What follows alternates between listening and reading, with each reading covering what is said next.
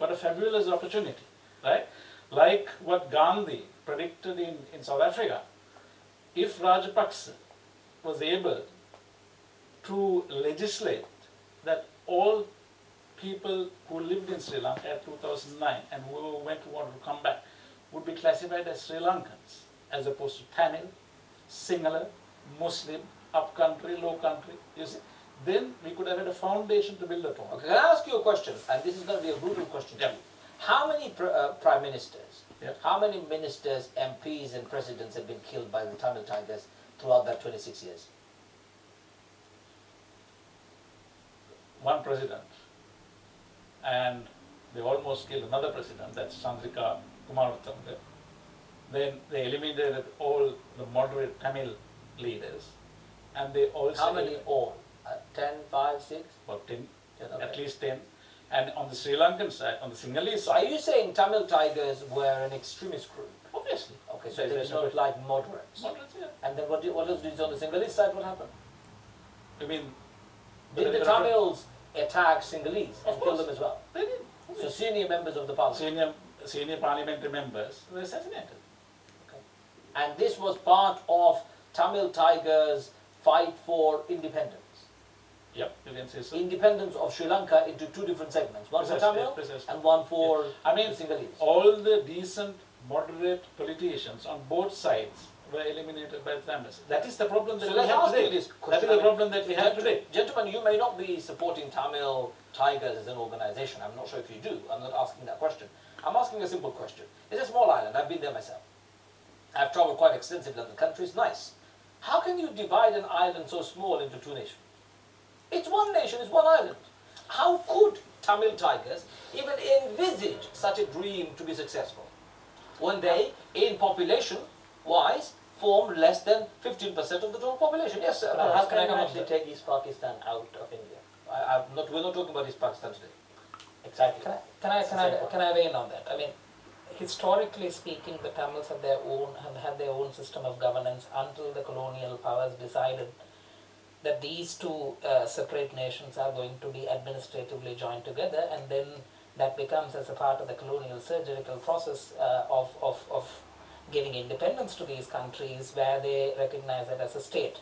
Now, you asked a very interesting question, you made a very interesting point as to if the majority is Sinhalese, they form the governments. Now, what's the problem with that? Now, when the in, in deeply divided societies, and this is a, is a manner of category that you find in, in, in a lot of societies. This is true for Belgium. This is in fact true for Scotland in its relationship with the United Kingdom, Quebec with uh, You Canada, can't, so on and so you forth. can't tell me the last 100 years Yeah.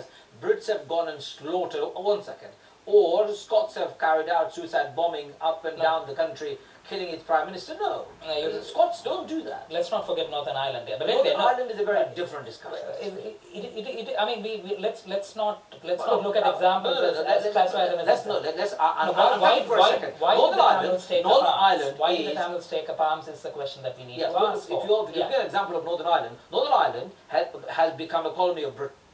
Majority of the Irish people want that back to become part of their country. Now, those people who are in Northern Ireland, they may want to remain with Britain. That colonial history and its legacy still lays on, uh, still lives on. I understand that. But give it 10, 15 years time, 25 years time, it's very likely that Northern Ireland would be uh, uh, would have a cessation and would end up in the mainland island. That's a clear history. May, may, may But Sri? Lanka is this? something very different. No, It's no. a small island within which internally. Belgium is small, So Go on, is so small. talk about Sri Lanka. Uh, let, let me talk about Sri Lanka. Yes, I mean it's it's important to recognize that that the Tamils consider themselves to be a nation, right?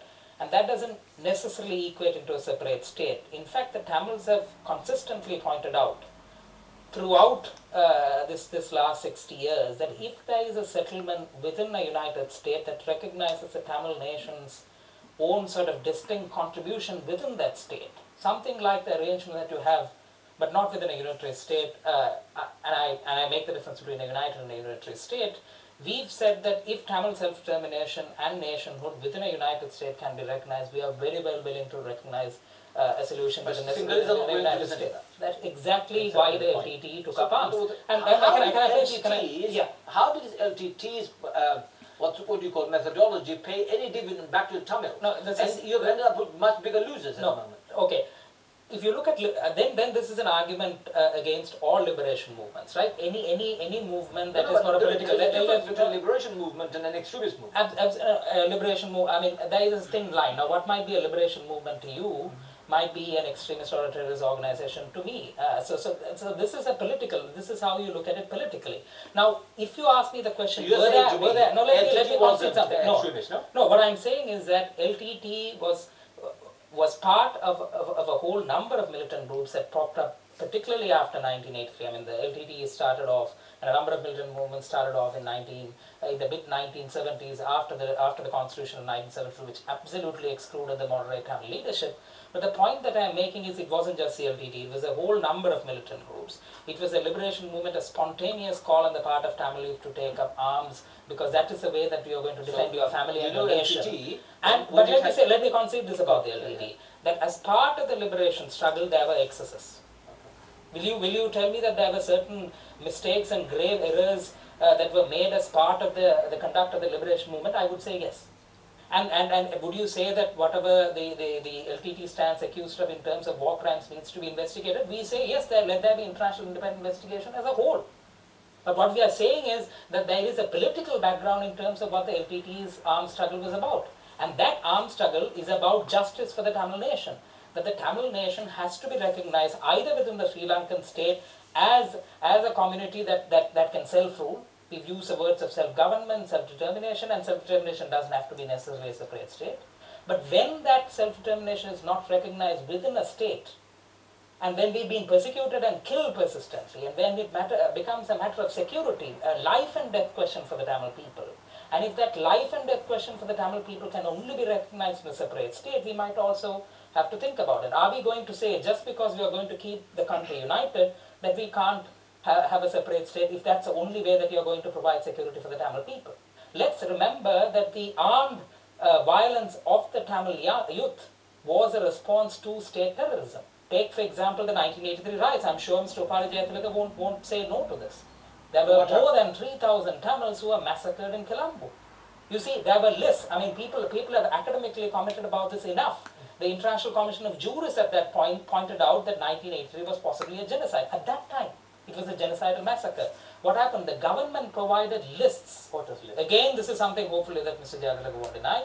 Wo- voters list, identi- giving the attackers and looters of Tamil businesses and establishment and Tamil residences ident- uh, as to how to identify. So I'm saying, yes, I mean, let's look at this in a much more complex way. This is a complex problem.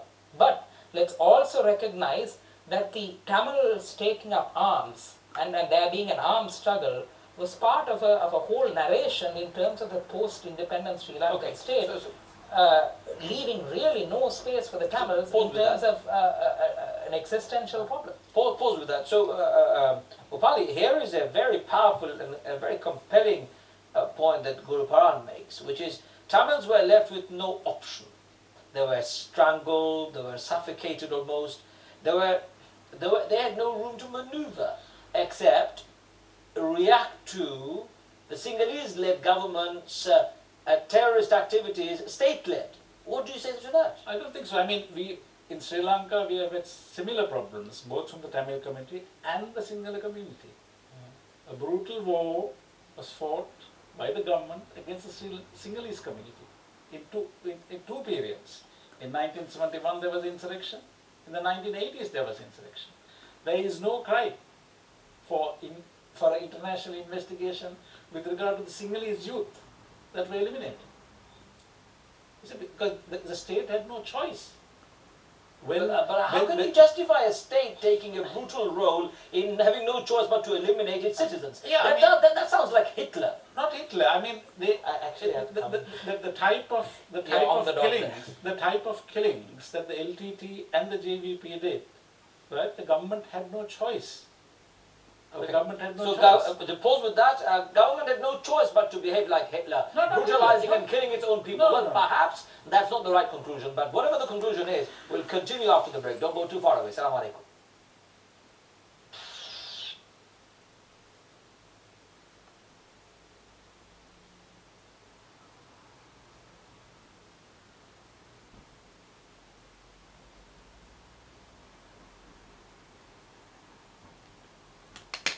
Nice people, uh, quite a pleasant culture. It wasn't, it wasn't so intense like you see in India or Bangladesh. It wasn't on your face type of a culture.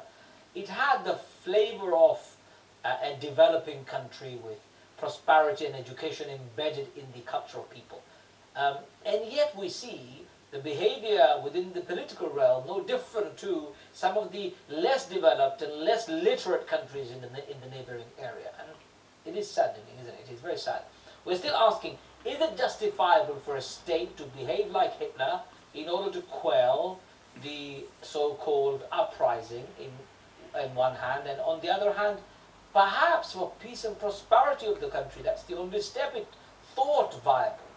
Well, uh, evidence says that there has been no trouble since. Apparently, the country is very prosperous. It's doing very well. Investments pouring in. China is there. India is there. Britain is there. Any other developing na- developed nation's interest is opened up because of the current government. What else would you want? I don't understand why Tamils are complaining.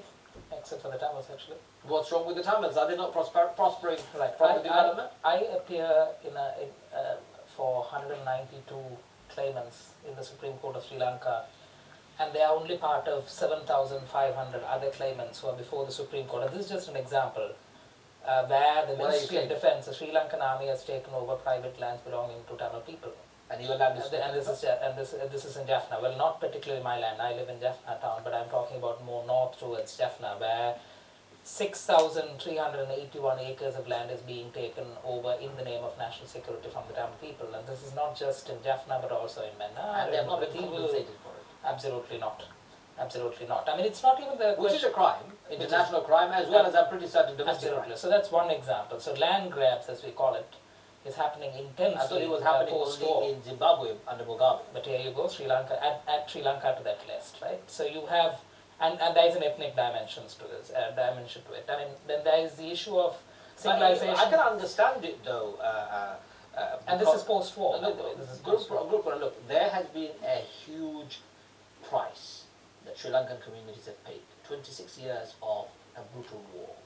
If they don't have security presence up north within the Tamil people, where would they have it? Well, well the, the reason uh, that what, what we have to look at it is this land is not grabbed just for the national interest as they say because what the military is doing is now they're cultivating in this land and they're cultivating and they're bringing out producers to the market and driving poor Tamil farmers away from the, from their livelihood.